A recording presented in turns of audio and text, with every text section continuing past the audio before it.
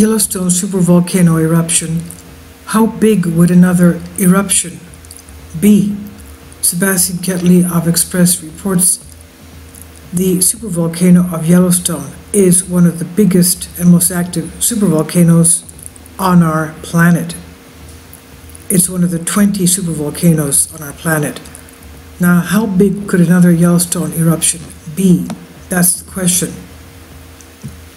The Yellowstone supervolcano eruption could be one of the deadliest natural catastrophes to strike the United States and the world if it ever happens.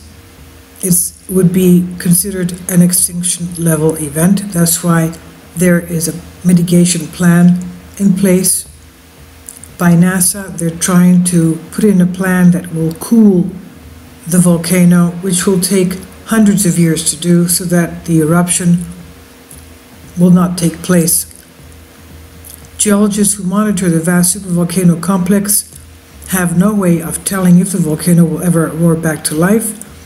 However, the United States Geological Survey, the USGS, and the Yellowstone Volcano Observatory, there is an observatory in Yellowstone.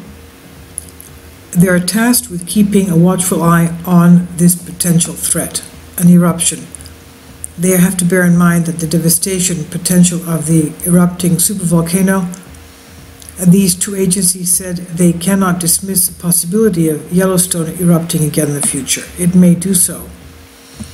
Past caldera forming eruptions at Yellowstone are believed to have taken place 2.1 million years ago, 1.3 million years ago, and 640,000 years ago. And there are those who believe that we are overdue for another one. Volcanic ash rejections from these monstrous blasts covered much of Western America, quote, a third of a meter deep, several hundred kilometers from Yellowstone, end quote. As far out as Texas, scientists estimate ash fallout covered the ground several centimeters thick. And the likelihood of this happening yet again in the next eruption are about 1 in 730,000 every year. But with these past eruptive indicators in place, the thought of Yellowstone erupting again in our lifetime is extremely terrifying as an idea because we would not be able to do anything to stop it and not much to protect ourselves. But how big would another Yellowstone eruption be?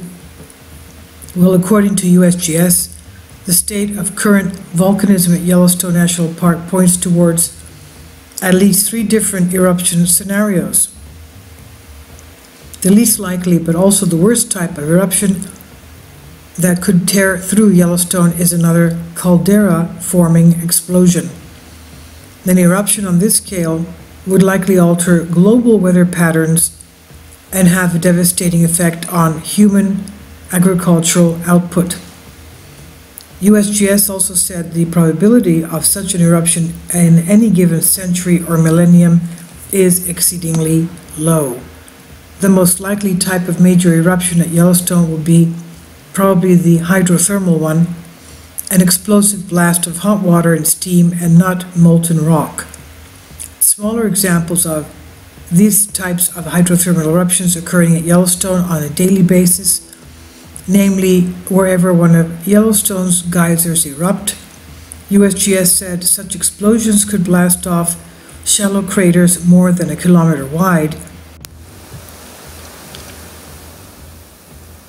as has occurred in the northern Yellowstone Lake Basin, including Mary Bay and nearby Turbid Lake and Indian Pond, and in western Yellowstone National Park north of Old Faithful, the geyser Old Faithful.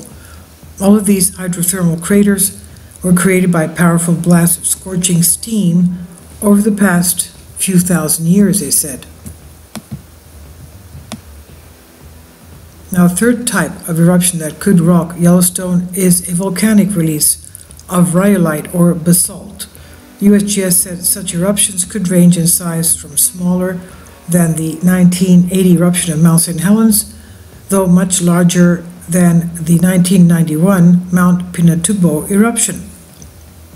But all of these scenarios at this point in time are hypothetical guesses at this point and about the future of Yellowstone volcanism. For now, the Yellowstone Volcano Observatory has seen no evidence of volcanic or seismic activity indicating a future eruption is at all imminent.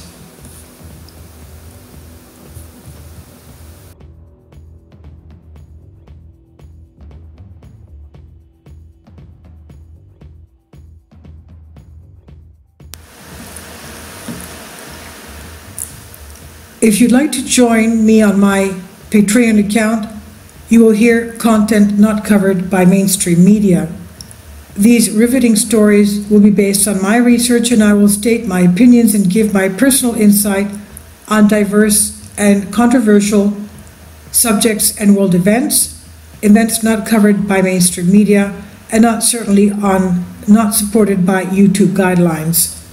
So whatever I have on my Patreon, most of those will not be on my YouTube channel. Please consider becoming a member today. More of the, the most significant and important videos will be on my Patreon channel. Your support helps me to continue my research and keeps this YouTube channel alive.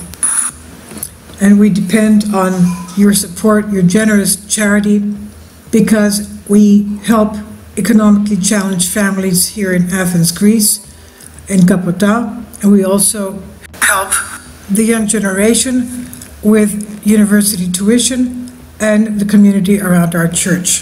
Thank you.